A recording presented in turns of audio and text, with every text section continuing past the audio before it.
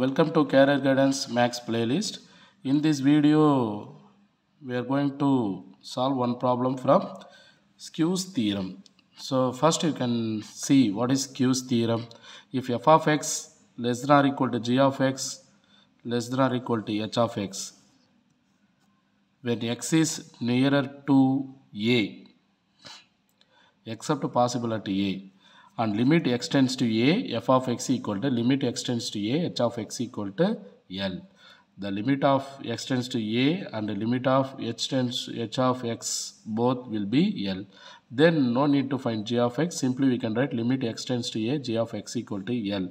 If limit of x tends to a f of x and g of h of x equal to l means no need to find limit x tends to a g of x equal to L. Directly we can solve, which is called Squeeze theorem.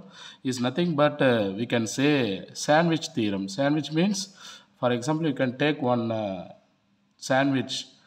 In the upper part, you will have bread. Lower part also you will have bread. Within uh, bread, you will have stuffs. Okay.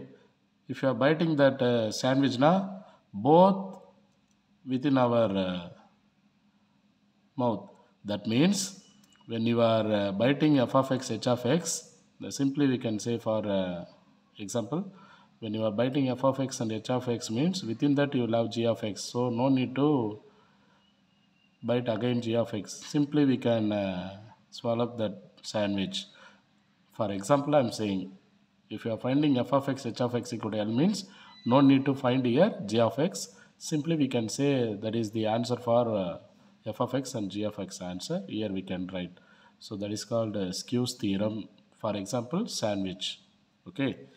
So here uh, take this problem limit x tends to 0 x square into sine 1 by x equal to 0. Okay, wow. So x square into sine 1 by x equal to 0 means when I am substituting limit value, this is not 0, we are going to prove this. So when I am substituting here directly x equal to 0, what will happen? x equal to 0 into sine 1 by 0. 1 by 0 is infinity.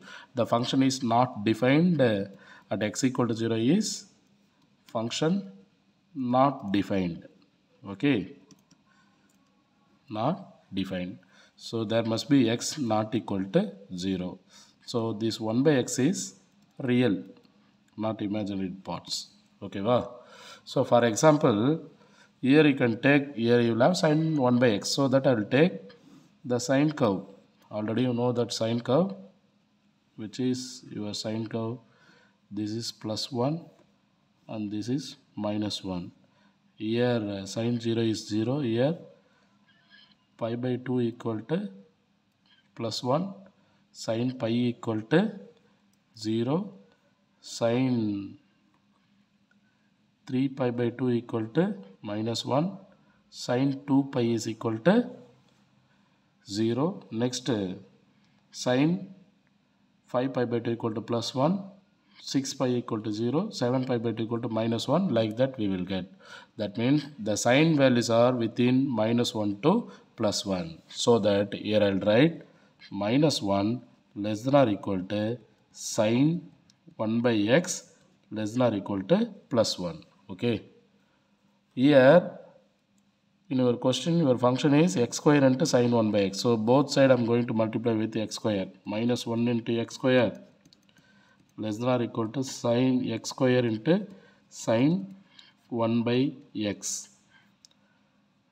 Less than or equal to x square. So you will get uh, minus x square less than or equal to x square sine 1 by x less than or equal to x square right uh? so from this consider this is f of x and this is g of x and this is h of x.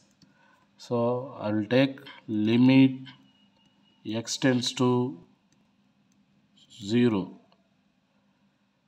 left hand side okay wow f of x. Or you can take simply limit x tends to 0 f of x equal to limit x tends to 0 and uh, f of x is minus x square. Here you can substitute x equal to 0 you will get 0 right ah? next you can write limit x tends to 0 g of h of x is equal to limit x tends to 0 h of x equal to x square. That also 0 so by Squeeze theorem. By Squeeze theorem we say that f of x less than or equal to g of x less than or equal to h of x means if you know f of x and h of x means what is g of x? This answer again we will write limit x tends to 0 x square into sine 1 by x equal to 0 that is understood based on Squeeze theorem. f of x h of x 0 means g of x also must be 0 based on Squeeze theorem okay? The very simple one you may get 2 mark in university based on Squeeze theorem okay well thank you pa